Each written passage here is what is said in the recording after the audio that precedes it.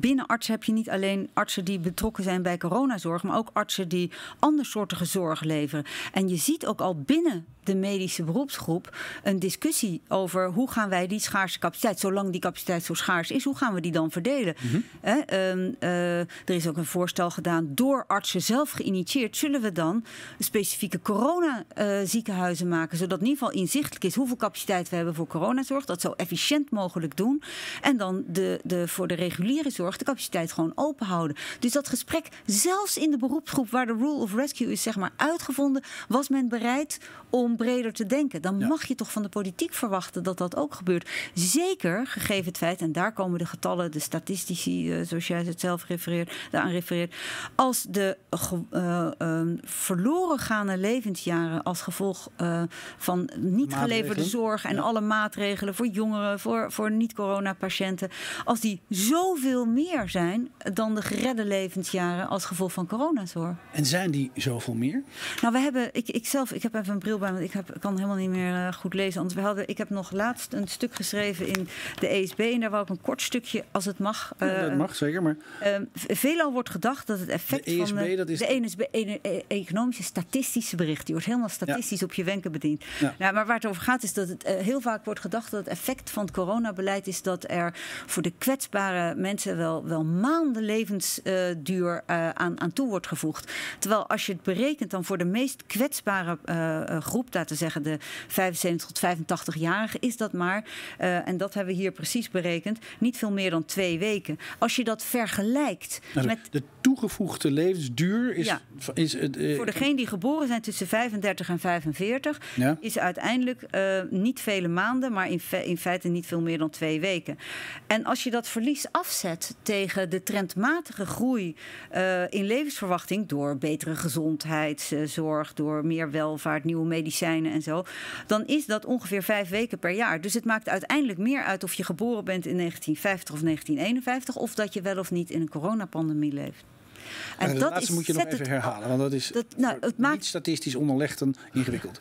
Ja. Nou ja, nee, kijk, dus in feite uh, heeft die hele coronazorg zoveel minder, dat is eigenlijk wat er staat, maar ik wilde die cijfers noemen omdat dat zo ontluisterend is voor veel mensen. Mm -hmm. Niet maanden uh, gezondheidswinst opgeleverd, maar hoogstens enkele weken. En als je dat dan in perspectief zet met de trendmatige levensverwachting die wij, uh, levensstijging in levensverwachting die wij hebben door de betere uh, gezondheidszorg, medicijnen, welvaart die we hebben in dit land. Die, die we afgelopen vaak, decennia hebben meegemaakt. Ja, en dat is dat vaak wel ja, vijf weken per jaar of zo. Dus dan maakt het in feite meer uit of je geboren bent in 1950 of 51, dat zou dan vijf weken schelen, dan of je wel of niet een coronapandemie in je leven hebt meegemaakt. En dat soort dingen zet ook zo'n ethische discussie wel in een ander daglicht. Ja, dus het toegevoegde dus, waarde ja. aan leven uh, aan bij het uiteinde van het leven is een paar weken door de maatregelen van de afgelopen ja. twee weken, ja, ja twee, ja.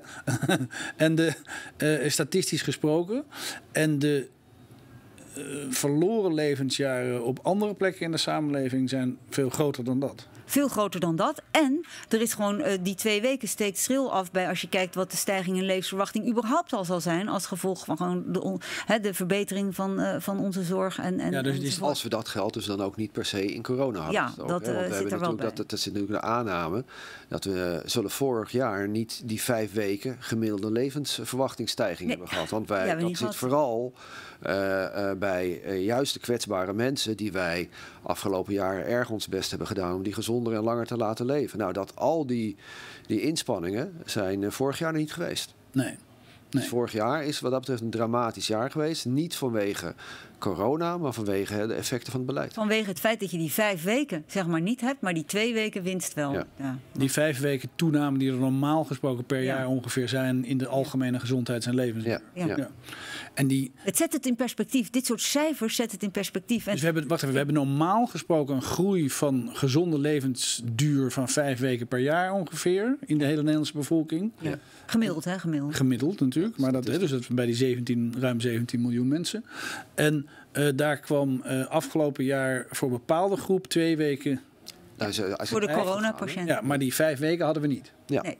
Dus voor iedereen was het vijf weken minder. Precies. Maar voor sommige coronapatiënten Ja, twee ja, weken meer. ja. En dat kostte 100 miljard. En dit, soort van, dit soort getallen helpt dus om ook zo'n. Kijk, ik ben geen ethicus, ik ben econoom. Uh, maar het helpt om ook het in perspectief te zetten, mm -hmm. in proportie. Ja, en, en, en kijk, het is heel interessant, hè? want um, uh, uh, jullie werd natuurlijk verweten dat je dan een standpunt innam. He, dus er werd gezegd van ja, maar um, he, je schetst dit. He, en uh, daarmee neem je natuurlijk een ander ethisch. Dat deed ik net ook. Ik zei ook net van kijk, luister, als je die rule of rescue um, uh, niet hebt, dan, is, dan heb je een andere ethische keuze. Maar als, als ik naar jullie luister, dan zeggen jullie eigenlijk alleen. Wees je in het beleid bewust van die afwegingen. Ja, maar de grappige is dat de feiten zo laat ik zeggen, zo evident zijn, zo zwaar doorklinken als je ze uitspreekt, dat het meteen klinkt alsof je een standpunt hebt. Ja. en omdat ieder uh, normaal mens denkt, ja, dit kan natuurlijk niet. Hè? Dus, maar uh, ja, het gaat gewoon om feiten. Laat politiek maar beslissen. Maar er is geen politicus die zo gaat beslissen als die feiten echt kaal en helder gepresenteerd worden.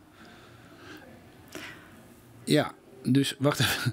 Ik herhaal nog even wat je zegt. Het zijn, het zijn best wel fundamentele dingen. Ja, kijk, um, uh, uh, wij legden een aantal uh, principes bloot of een aantal berekeningen. Hè, uh, maar probeerden we openbaar te krijgen, redenaties. En dan lijkt het eigenlijk meteen alsof je een standpunt hebt, omdat de conclusie uit die feiten eigenlijk zo evident is. Ja. Dat, dat ieder een zou denken: oh, maar wacht even, dan moet je een andere keuze maken. Ja, ja. ja en maar. En, um, ja, ja. En, dan, en, en dan één stap verder, want dat is natuurlijk toch ook wel jullie vak: toegepaste economie en uh, uh, beleid en uh, onderzoek naar veiligheidsbeleid. Um, je vindt ook, u vindt ook dat die anders gemaakt had moeten worden. Nou ja, dat is als, kijk, aan een wetenschapper. Nee, dus, dus, u bent geen politicus. Ik hoop maar... dat als ik politicus was geweest, dat ik op deze basis van deze feiten anders besloten had. Maar mm -hmm. dat weet ik niet, want ik ben geen politicus. Nee. Mm -hmm. Het is mijn taak om die feiten te brengen. En daarom zei ik, het gebeurt me natuurlijk regelmatig dat ik uh, over willekeurig veiligheidsonderwerp uh, zeg van nou. Uh, uh, dit zou ik niet doen of wel doen. Hè, en dat een bestuurder hè, alles afwegen en zegt, nou ik ga het toch doen. Ja. Dus dat, ja. dat kan. Dat kan, ja. dat kan. Zo zit gelukkige democratische stel in elkaar. Precies. Hè, dus daarom is het, vind ik het ingewikkeld om te zeggen, ik moet. Uh, maar ik denk dat het waardevol is om die feiten naar boven te brengen. En ik denk dat die feiten zo voor zich spreken. Hè, dat als je in de Tweede Kamer echt een debat had gehad. Willen wij dat 50.000 kinderen zeven jaar eerder doodgaan? Dan denk ik dat langzamerhand toch uh, het een ingewikkelder debat was geworden dan nu het debat over zijn die mondkapjes zijn er wel genoeg of. Uh... Ja. Maar, dat, maar, maar ik denk wel dat trouwens, want kijk, wij brengen en wat dat betreft, wij, wij brengen cijfers als econoom, als bestuurskundige. We brengen het niet uh, als ethicus. We brengen het niet als, uh, micro, uh, als epidemioloog. En de, voor de politiek is het zaak om al die verschillende feiten boven tafel te krijgen. En inderdaad, als we de feiten presenteren zoals Iran net doet, of zoals ik net eerder deed, mm -hmm. dan, dan lijkt dat een, binnen het afwegingskader dat wij hebben, namelijk het economisch of bestuurskundige, een hele logische. En dat is de moeilijke taak van de politiek, dat ze daarnaast ook al die andere aspecten moeten wegen als dat maar, en dat was onze oproep, beperk je niet van al die aspecten die je mee kan wegen tot louter en alleen de, de, de coronazorg, de OMT-overwegingen. Maar maak dat breder en geef aan welk gewicht je eraan geeft. Als jij naast je neer wil leggen dat uh, de kinderen als gevolg van de, uh, uh, van de schoolsluiting minder geluk in hun leven zullen hebben of, of eerder zullen sterven zelfs, dan moet je ook wel aangeven dat je daar gewicht nul aan geeft. Ja. Gewicht nul. Wat, uh, ja, dat, dat was in die eerste paar lockdowns was dat. Althans, ja. als je het, de stukken terug bekijkt. En ja, niet alles is openbaar. Maar is dat gewicht nul. Ja. En overigens heeft het OMT, althans bij monden van uh, de heer Van Dissel, gezegd hè, dat ze daar gewicht nul aan uh, toekenden. Want die zeiden, wij zijn niet van de bijeffecten. Uh, dus dat vind ik zelf te makkelijk. Hè? Uh, wetende, als, wat zij weten, dat, dat hun advies niet breder gewogen wordt. Maar het is in ieder geval op het po politieke topniveau ligt die verantwoordelijkheid om te zorgen dat je breder geïnformeerd bent en die afweging wel te maken. En uh, SVP echt democratisch.